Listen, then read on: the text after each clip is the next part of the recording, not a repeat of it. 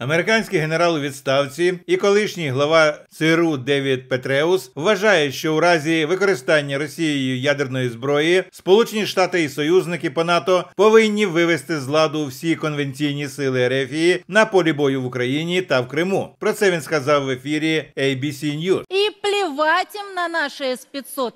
Путін програє, незважаючи на так звані значні, але відчайдушні кроки у війні, сказав Петреус. Україна набрала, навчила, оснастила, організувала та використала сили незрівнянно більші ніж Росія, зазначив він. Жодна кількість навіть завуальованих ядерних погроз не може вивести її з цієї ситуації, наголосив екс-глава ЦРУ. Відповідаючи на запитання, чи може Росія перемогти у війні з Україною, Петреус сказав, що не бачить як. Вони цього не можуть зробити. Путін нічого не може зробити на цьому етапі. Він буде продовжувати програвати на полі бою, зазначив генерал. П'ятнична промова Путіна, в якій він оголосив про анексію частини України, була покликана підірвати рішучість Європи, кинути виклик Росії, яка є основним постачальником енергоносіїв на континенті, сказав Петреус. На Європу, звичайно, чекає важка зима. Потік природного газу буде дуже скорочений, але європейці вже знайшли вихід. Вони закачали газу стільки, що їм вистачить до наступного літа. І я не думаю, що вони зламаються в питанні підтримки України, вважає генерал. Все може стати гірше для Путіна і для Ерефії, і навіть намір використати тактичну ядерну зброю на полі бою цього зовсім не змінить, сказав Петреус. За його словами, у відповідь Сполучені Штати та союзники по НАТО можуть знищити усі російські звичайні збройні сили, які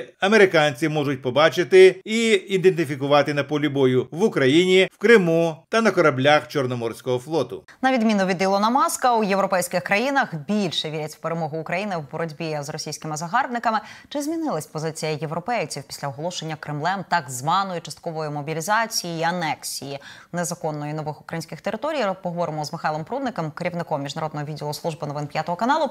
Михайло, які зараз настрої в європейському суспільстві і чи залишається незмінною підтримка України? Ну, от останні е, соціологічні опитування, які провели у Польщі, свідчать, що поляки понад 60% е, підтримують у боротьбу України, вірять у перемогу і е, підтримують ідею подальшої підтримки українського збройного зброй, збройних сил та підтримку заходу для того, щоб Україна перемогла. Більше того, вони переконані, що якщо зараз не підтримувати Україну, то Росія загрожує іншим територіям, зокрема Польщі.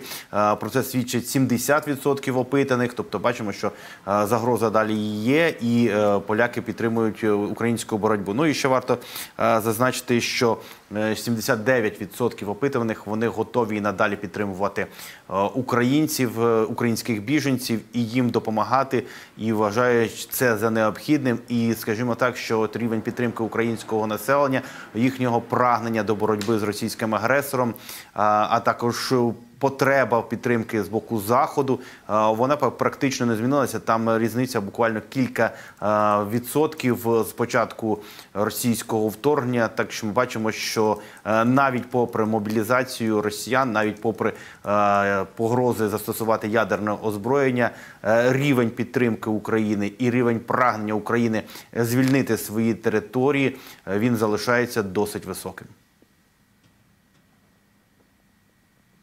А чи варто в контексті оголошення нової мобілізації росіян очікувати і на додаткову допомогу з озброєнням? Їх вже треба десь нищити і кудись закопувати?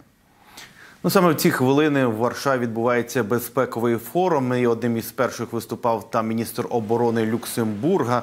Е, так, от він е, заявив, що це е, ця війна це одна єдина перша війна у Європі, яка яка розпочалася от посеред Європи з часів Другої світової війни. Тому саме тому його країна підтримує з перших днів надання Україні допомоги і фінансово, і матеріально.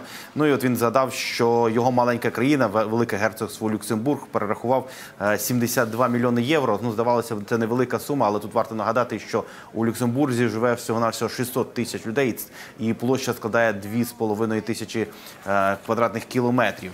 Ця підтримка буде продовжуватися. Ймовірно, про неї будуть говорити на наступній зустрічі Рамштайн, яка відбудеться 12 жовтня.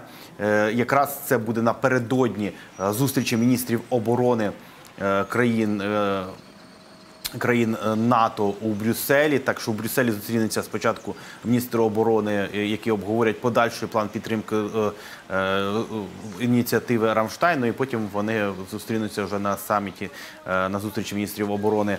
Е, Країн НАТО ймовірно будуть говорити і про подану заявку України до на вступ до НАТО за пришвидшеної технології. Ну і про е, те озброєння, яке потрібно Україні. Зокрема, е, вже відомо, що Сполучені Штати готують новий пакет військової допомоги, а серед них і ракети до Хаймерсів, і розглядають можливість і надання Україні і важчого озброєння, і ракет даль, більшої дальності для того, щоб Україна могла ефективно захищатися від російських загарбників.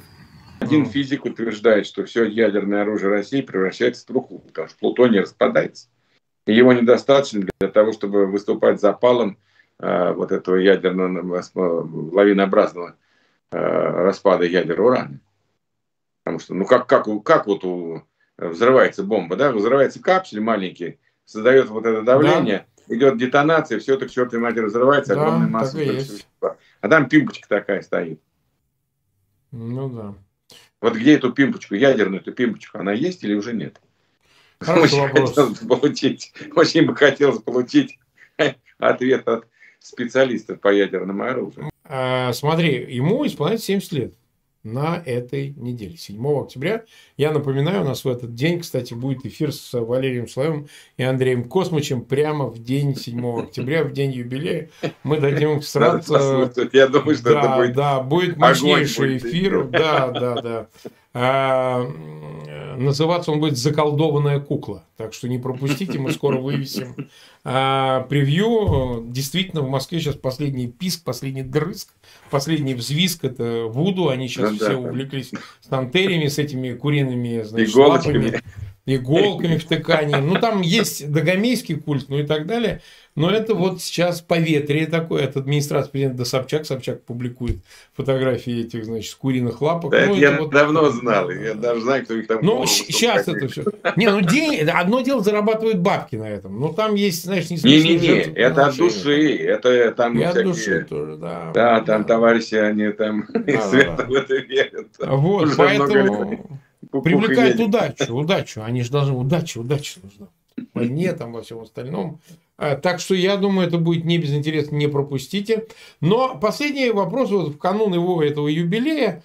Значит, э, все спорят, э, с чем он к нему подошел. Ну, наверное, это еще будут обсуждать. Э, Подошел он, в общем-то, по сути, с банкротством. Потому что вот не начни он эту войну, он протянул Как бы... ты вот цивилизованно, Марк, говоришь. Я хотел сказать, полная жопа. Ну, полная жопа, Ну, понятно. причем. Да, у него она именно Ну, такой такая. банкротство, полная Да. жопа. Підпишіться на канал і не пропускайте нові відео. Пишіть коментарі і діліться з друзями. Ми також будемо вдячні за підтримку нашої роботи на Patreon або інших зручних платформах. Реквізити в описі до відео.